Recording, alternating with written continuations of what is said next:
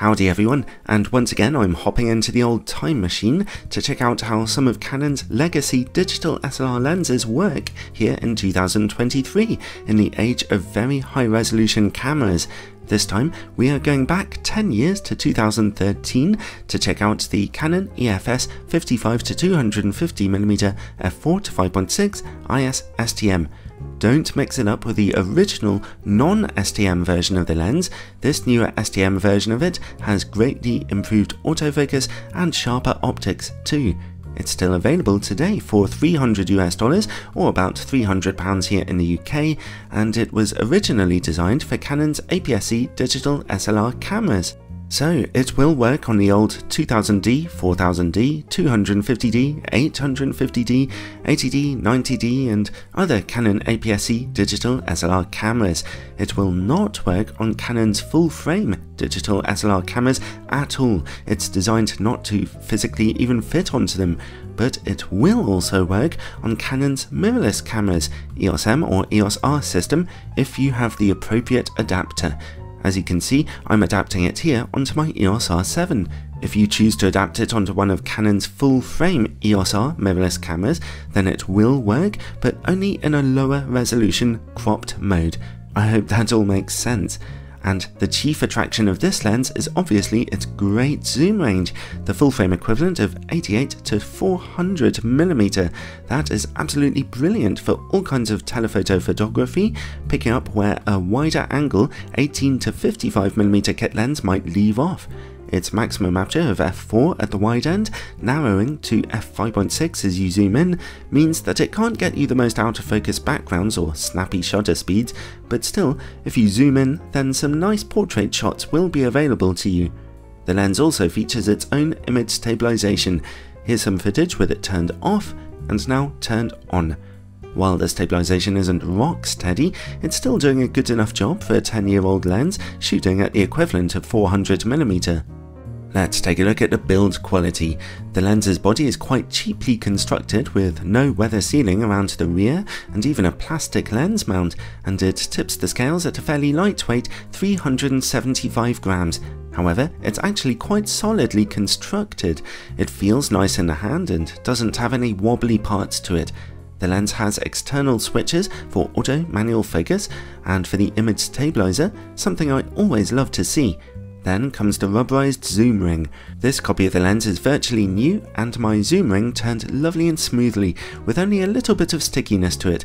In front of that comes the rather loose and freely turning focus ring, which is electronically coupled to the focus motor. In use it works really responsively, as you can see here, and the lens exhibits very little in the way of focus breathing. The lens's autofocus motor is from the early days of Canon's STM design, but still, it focuses very quickly, smoothly, accurately, and silently. I had no problems with autofocus here at all. The lens has a 58mm filter thread size, and it does not come with a lens hood, although one is available separately. Overall, while the build quality is rather basic, the lens actually works fantastically well, with good stabilization and autofocus and a nice smooth zoom ring. And I also think it looks pretty cool there on my EOS R7 with the adapter. Okay, let's take a look at image quality now. The lens originally performed pretty well on my old Canon 70D with its 20 megapixel APS-C sensor the 32.5 megapixel sensor of my EOS R7 will be a different ballpark altogether though. In-camera corrections are turned on for these tests. At 55mm and f4, the lens is rather soft in the middle of your images, corner image quality is about the same, Stop down to f5.6 for a little improvement in those corners, but back in the middle, image quality is way sharper now, looking very nice and detailed. Stop down to f8 and the middle looks about the same, but the corners now see another improvement, looking reasonably good. Stop down to f11 though, and the lens begins to soften again due to the effect of diffraction, and f16 looks very poor for the same reason. So, at its widest angle, stopping down to f5.6 yields a huge benefit. Let's zoom in about halfway to 135mm. The maximum aperture has now darkened to f5. In the middle of the image, again, the picture quality is rather soft. Strangely, the corner image quality is actually just a little sharper here than in the middle, although that kind of thing is not unheard of. Stop down to f8 for pretty sharp corners, and back in the middle, another huge improvement. Once again though, if you stop down to f11, then the lens just gets a little softer again due to diffraction. Finally, let's zoom all the way into 250mm. At the new maximum aperture of f5.6, once again, the lens is rather soft in the middle of your images and over in the image corners too. Stop down to f8 and the corners look about the same, but the middle of the image looks decently sharp now. Stop down to f11 and the middle looks the same, but the corners see just a tiny improvement. Again though, stop down further than that and diffraction will just soften the image too much.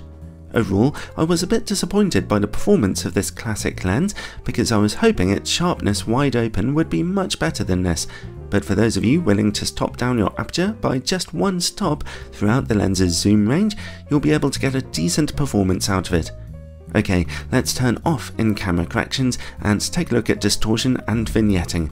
At 55mm, we see some very mild barrel distortion being projected by the lens, However, even at the brightest aperture of f4, there's little in the way of vignetting. If you zoom in, then that distortion flips into a mild pincushion pattern instead, with vignetting falling a little more heavily. Stop down to f8 or f11 for those corners to brighten up very well, so overall, that's a pretty good performance for vignetting and distortion. This lens has a bit of a bonus feature in that, when you zoom right in, it offers great magnification, getting you nice and close to even very small subjects. At f5.6, close-up image quality looks a bit soft and hazy here, with some purple fringing around contrasting edges. Stop down to f8, and we see a return of contrast and good sharpness though. Let's see how the lens performs against bright lights now.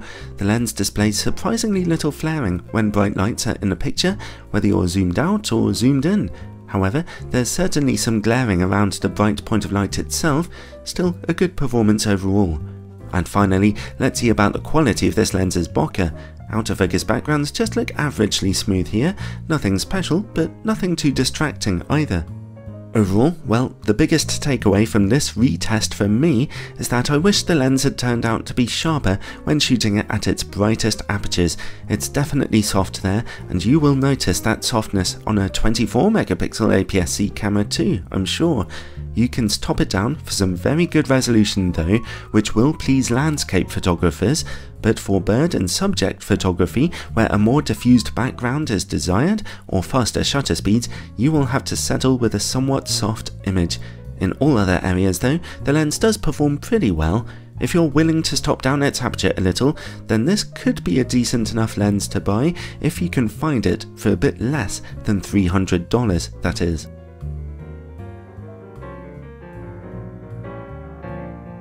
Cool, another classic lens retested for 2023. I think those are the main Canon ones out of the way now, although maybe I'll cover some more in the future if enough people watch these reviews.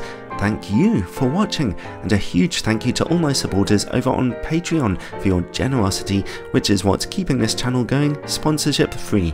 Check out my Patreon page in the description below for all kinds of exclusive bonus content, and ciao for now.